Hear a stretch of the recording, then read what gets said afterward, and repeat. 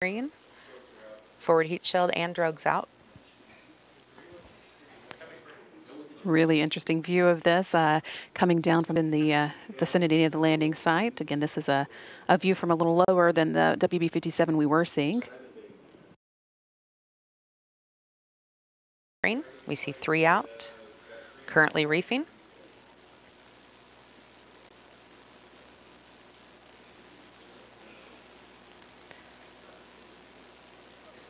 And the teams at the uh, landing uh, recovery teams report that they heard uh, booms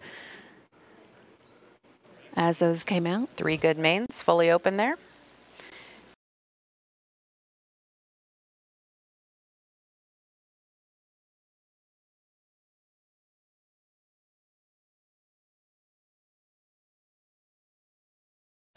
Touchdown.